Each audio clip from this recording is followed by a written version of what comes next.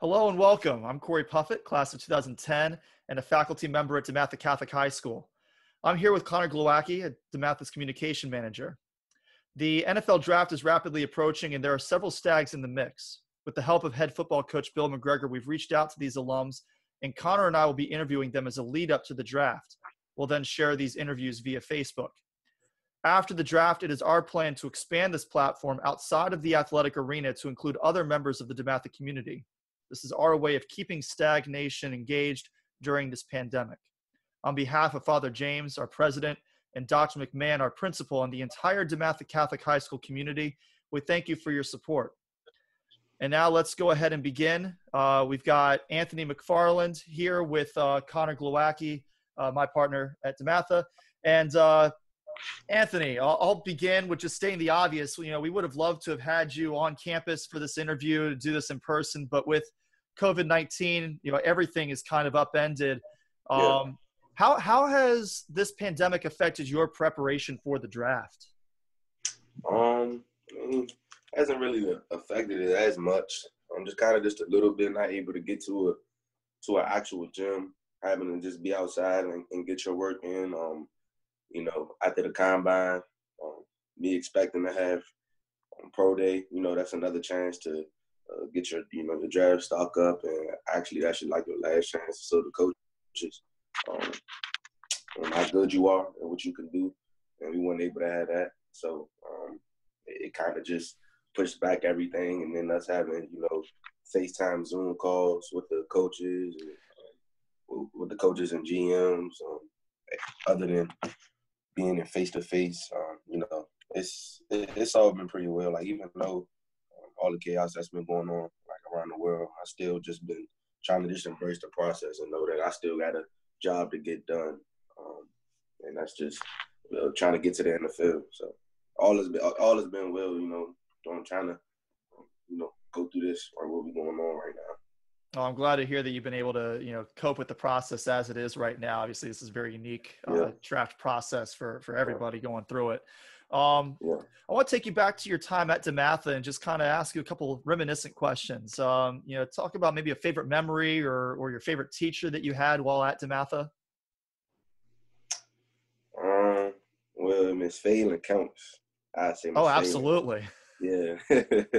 Miss Phelan is a part of my favorite teacher. Not probably, she is my favorite teacher ever um, I ever had in my life. Even though she was a tutor, um, helping us there, like with homework, she always, um, she always just took the extra step, the extra mile for me to just make sure that I understood the work that I had to do, the work that I had to get done to graduate from DeMatha. Because like she knew, she knew how, like out of everybody, she knew how school, how hard school was for me, and um, it just meant a lot over the four years. How like as soon as I came in since day one, um, it was just like she she really took her time. She really put in the time to help me.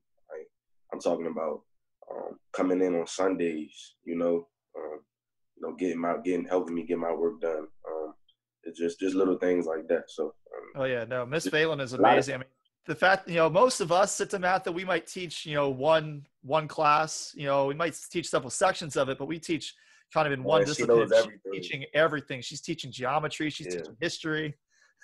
And, and that's what amazed me at DeMatha. Um, like I was always, I was always in there. Like I was always in the room and even if it was just me and her, like I would be in there the most. And um, I would just watch her how she operate with the other kids and teach the other kids, and it was just amazing how she could just go subject to subject like just like that. And I was just like, wow, it's just crazy how she can help so many people. And you know I'm saying, one room. And it's just really one, you know, one person. Like they're just going around, you know, just um, hitting on every subject, man.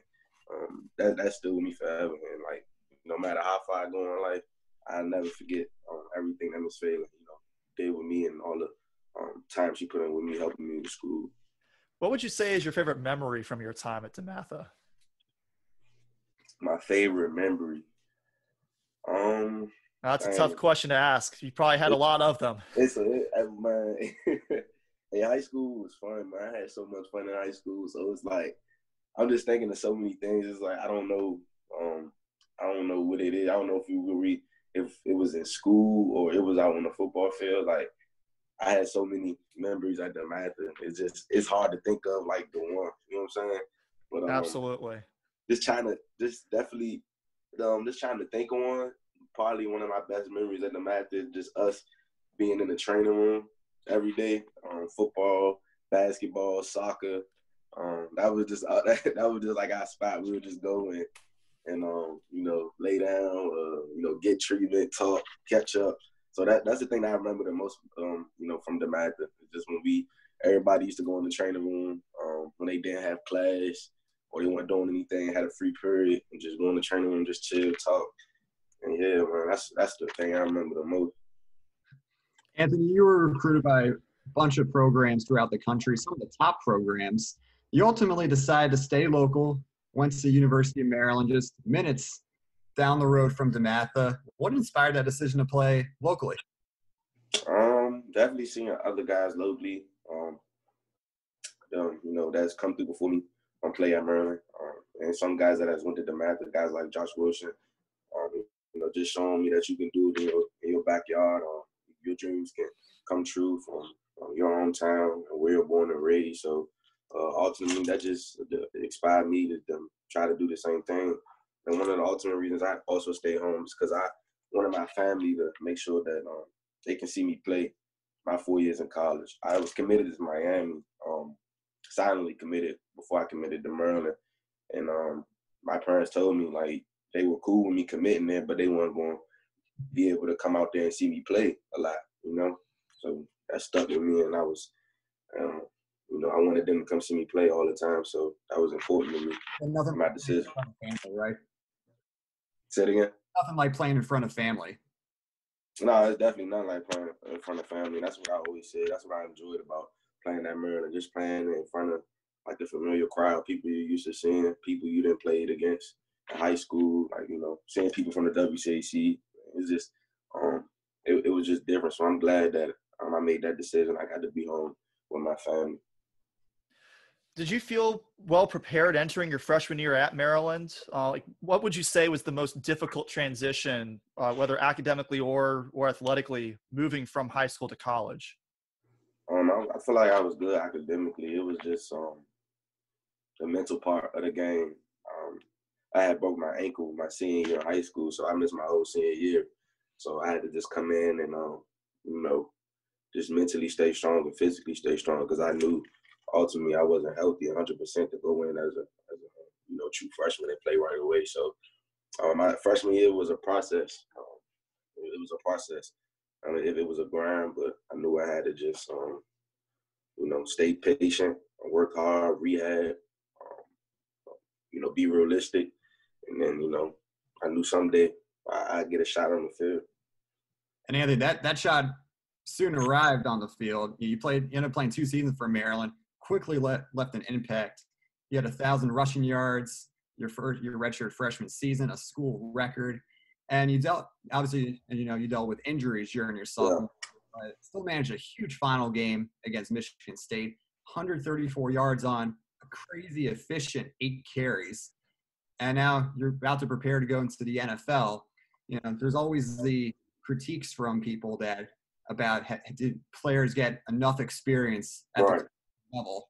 What makes you feel confident that you're ready right now for the NFL? Uh, I feel like I'm a football player. You know, that's what I tell people.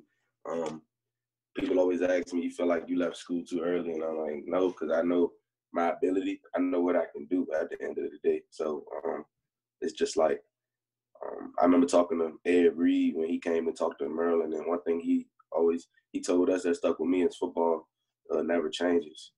And, but you just gotta understand the mental and physical um, aspect when it comes to ball, um, and that's something that always stood out to me. So I'm not really worried about if I'm not ready, and I know I'm not the only one that's been through this before in college ever. So it's like um, I'm not really nervous at all. Like at the end of the day, um, I made the decision that I made. I don't regret it.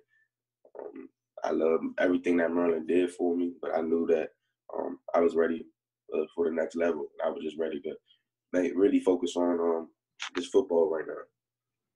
So as we get set to start looking ahead at the NFL draft in your NFL career, um, I'd like to know who is your favorite NFL player growing up? Uh, somebody you looked up to, maybe you wanted to emulate, and what is it about that player's game that spoke to you? Um, my favorite player growing up, it was um definitely would have to be Sean Taylor for the Redskins.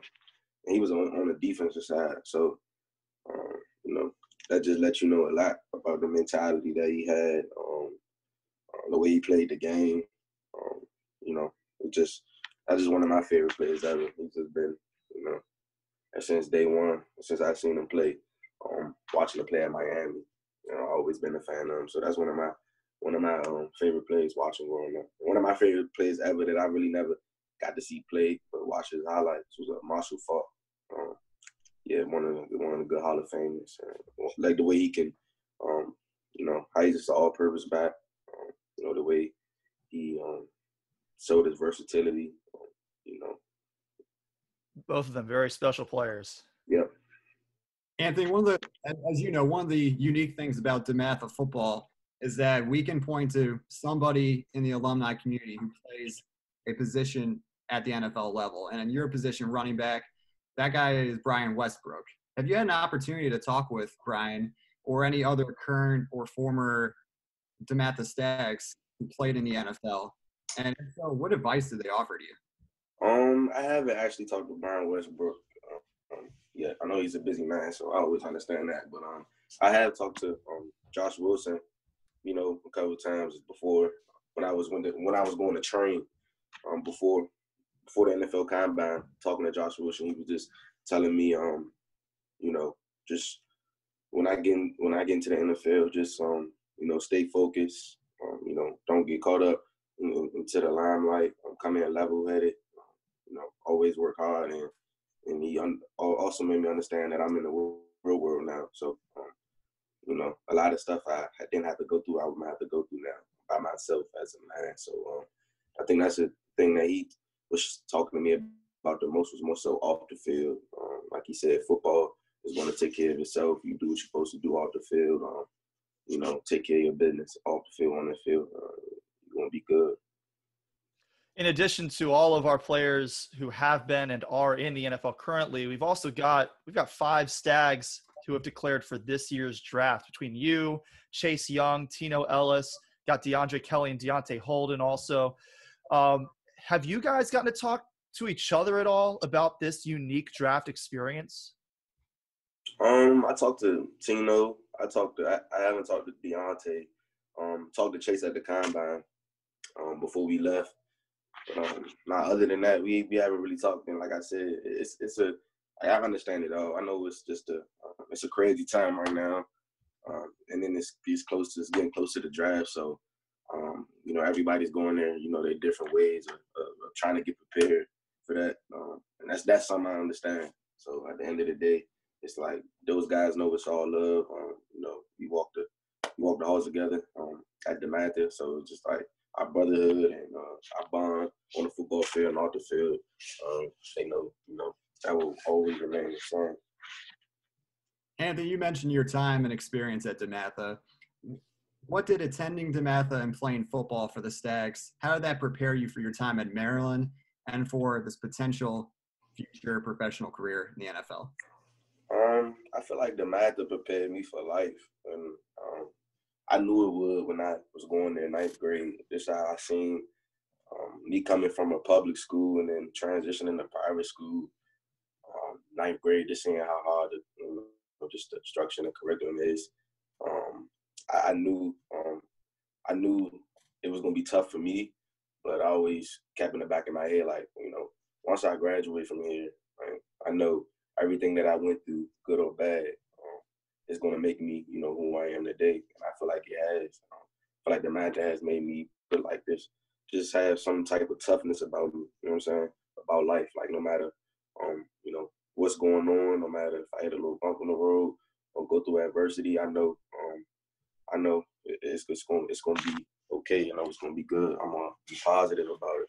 And I feel like DeMatha and the people around DeMatha, they have helped me um, grow into that mindset. And uh, a last question, uh, if you had an opportunity to come back to DeMatha and talk to a group of incoming freshmen or outgoing seniors, what advice do you think that you would give them about, you know, going into their their high school career or coming out of it and into their college journey? Um, I definitely tell them enjoy it because it goes by fast. Um, even college goes by even faster. So I definitely tell them enjoy it because high school, um, you don't think that you don't you won't think about high school when you leave. But when I left, um, DeMatha, you know, I thought about it a lot. You know, it was memories I thought about every day. So I would definitely first thing to tell them enjoy it, and, and anybody who got dreams of you know achieving goals, being in the NFL, NBA, it doesn't matter any professional sports. Um, you know, I just just tell them, man, just um, work on your craft every single day.